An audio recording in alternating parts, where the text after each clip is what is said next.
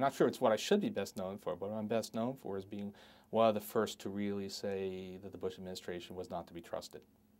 So I was the first, uh, certainly the first major newspaper op-ed type writer to to say that because I said it even before the uh, even before the 2000 election was held.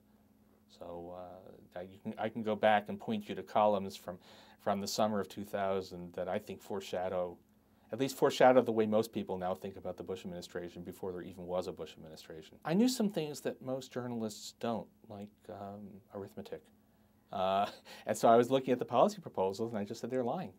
They're they're they're not being honest about what it is they're proposing, and that was a pretty good guide to me. It seemed to me that was that was much better evidence than whether Bush seemed like a guy that you wanted to have a beer with. Social Security. Bush was basically counting the same couple of trillion dollars twice. He was saying we can have it available to pay benefits, but we can also invest it and you'll get lots of money out of it. And it didn't, that didn't make sense. Taxes.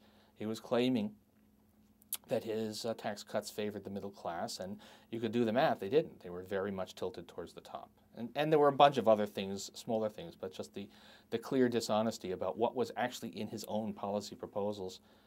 And being the kind of guy I am, uh, if you're lying about the numbers, that to me is, you know, the, it's not really the worst offense, but it's the clearest sign that you're not a man you should be that the public should trust.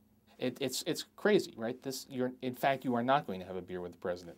What you want is somebody you can trust to run the nation.